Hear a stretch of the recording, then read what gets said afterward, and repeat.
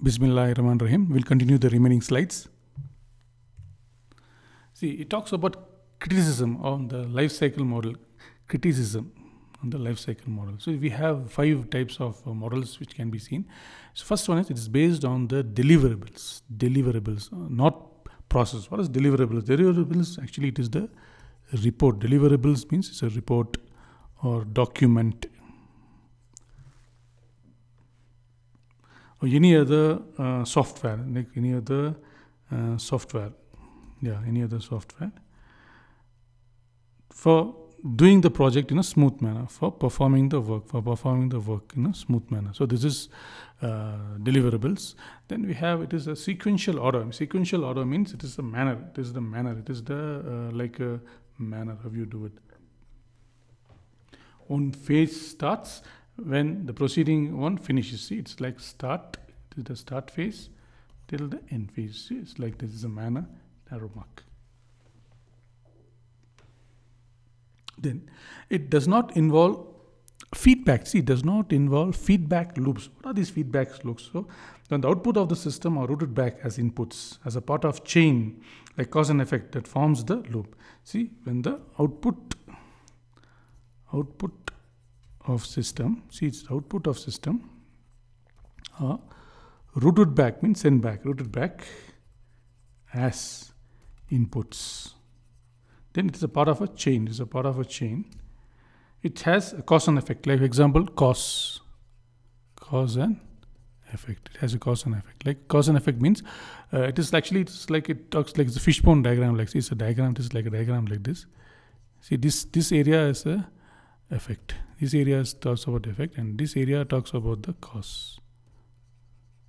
For example if there is some problem this is a problem. What will be the problem like? Men machine material. Okay then money. Then this have branches like how are the main minimum like subzones?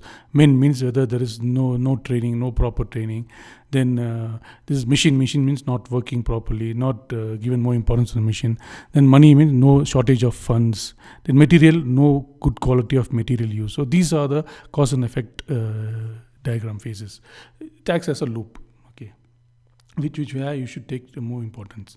Then you have uh, fourth one is it does not demonstrate the hierarchy of uh, project. What do you mean by the hierarchy? Hierarchy actually it is the uh, ranking based on the authority, ranking according to the uh, status ranking. It is the ranking. It is the ranking um, based according to the status, according to the status, like from the top management to bottom. Okay.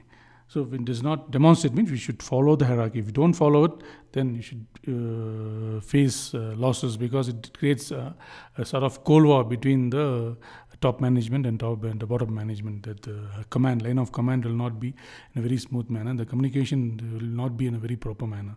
So you should take the importance in this planning the hierarchy is very important. Then last one is uh, despite the criticism, it is still the most used model, especially in academia.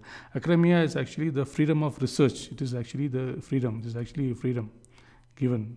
Freedom to research is actually the freedom to research, which interests you. Yeah, which interests you to develop your to develop your project to develop your projects. That's very important. Then you have to develop a life cycle. See, developing a life cycle is another target. See, how you do, there are some, some certain models given over here. There are three models given here. Waterfall model, parallel work model, and evolutionary model.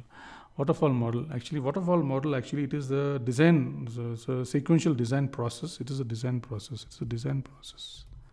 See, waterfall model is a design process in which there are phases like conception, like uh, conception, yeah, initiation,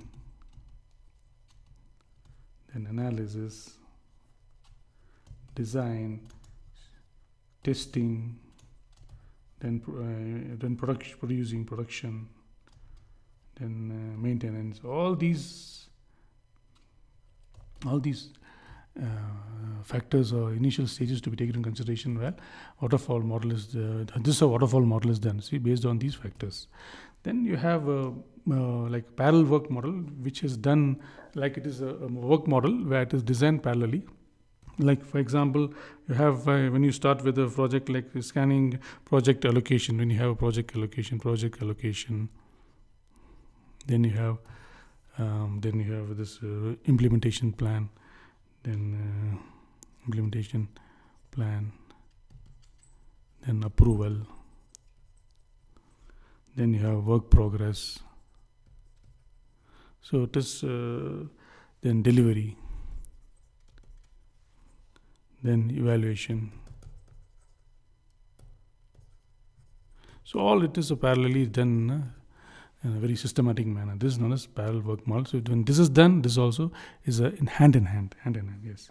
Then you have evolutionary model no? It is actually it is a see evolutionary it talks about an outline for example this is the outline this is the outline description. Let's say it's outline description okay. Then it is like specification okay. Then it talks about uh, development. Then it talks about validation. This is how it is done. This is evolutionary model.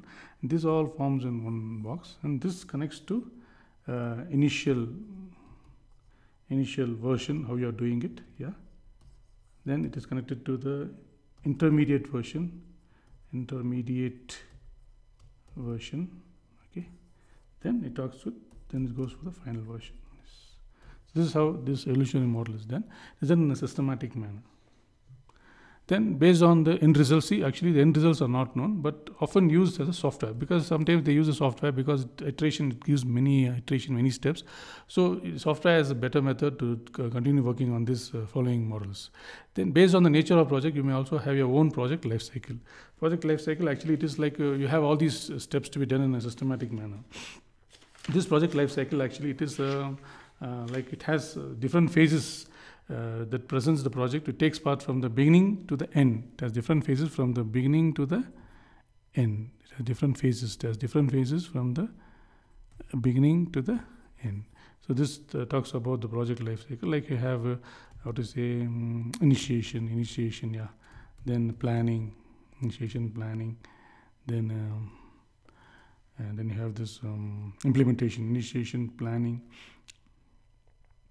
implementation after that last is closure. So these are the plans i mean these are the stages in project life cycle. Initiation planning implementation and closure.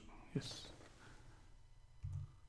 This project uh, process has uh, various uh, steps to be followed.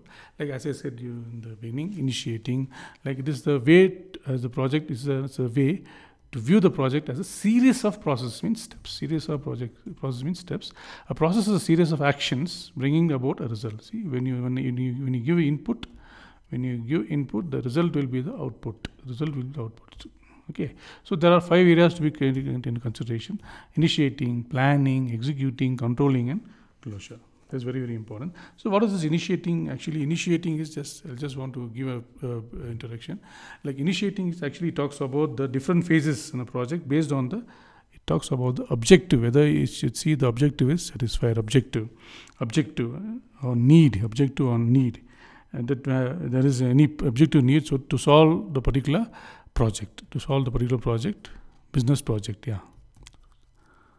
Yeah so it talks about objective and need then planning is next phase it talks about the um, uh, like possible steps like planning it identifies it has a team it team it talks about the further continuation like uh, what to do how to do what to do how to do when so this is the planning stage. The executing stage actually talks about the uh, project plan. Like it also has a link with this, like motion of work, motion and work. It talks about the motion and work, motion work, how it is done, and it also has a good control on communication, control on communication, communication during the implementation, during the implementing, during implementing the project, during implementing the project. Then controlling means have a good control on resources. Then uh, plan towards the targets. Yes. Then closing is final stage. You get the result. Result. So when you put in the, uh, in the graphical, I mean, a graphical manner, this is the initiating stage, this is the planning process, this is the executing, then controlling, and closure. So this is the time frame given. This is the time frame given. So the level of activity in the process areas tends to all curve over the time. It tends to curve over the time, and process groups may be sometimes they may overlap. So this is known as overlapping. See, this is overlapping, this is overlapping, this is overlapping. Okay, during each phase.